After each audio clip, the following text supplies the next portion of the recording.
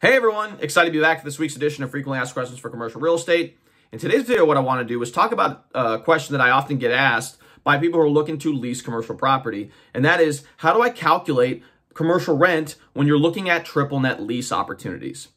This is extremely pertinent, in particular those who are looking to lease retail and industrial space. So this, if this applies to you, it's worth sticking around.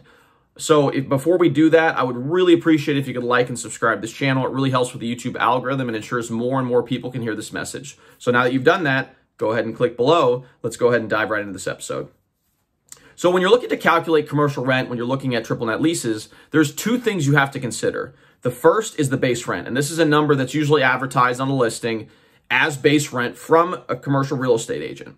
Uh, these are typically quoted on a price per square foot basis and will be multiplied by the area of the property that you're going to be occupying and then divided by 12. So as an example, let's say you're looking at a 2,000 square foot space and the base rent advertised is $12 a square foot.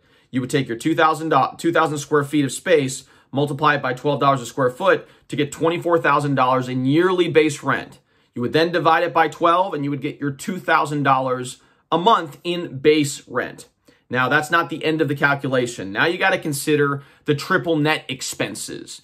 Uh, there's various ways to that, that they're advertised. Sometimes they're advertised as triple net expenses or triple net charges. Sometimes even uh, they'll advertise it as CAM charges, even though they're not technically CAM charges, but some brokers kind of lump it together into that expense as well. So when you see that that being advertised, you need to take this next step which is to take the price per square foot for those cam char or those net charges and then multiply it by the square footage of that space to get your net charges. So in this same example that you had before, you're going to have 2,000 square feet times your triple net charges. And let's say in this example, the triple net charges is $3 a square foot.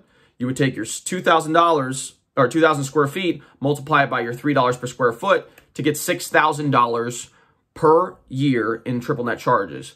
Once you divide that by 12, you get your $500 a month in net charges. And these net charges, as we've talked about in various videos related to triple net leases, include your property taxes, insurance, and general maintenance on the property. So in order to calculate your total monthly cash outflow for that particular building, you would take your 2,000 square feet in base or $2,000 uh, per month in base rent and add that to your net charges of $500 per month and you get your $2,500 in monthly cash outflow as it pertains to that triple net lease. Now, triple net charges are usually collected by landlords on a quarterly, biannually, or annual basis. Uh, so that's something you probably also want to ask uh, the, the, landlord or the, the broker that's involved in that particular transaction to see how that's going to be collected over time so you can plan that throughout the year uh, to make sure that you're you have the proper cash flow in order to account for those expenses. So I hope you gained some value from this video. If you really do like this channel, again, feel free to like and subscribe. It really helps with the YouTube algorithm and ensures more and more people can hear this message.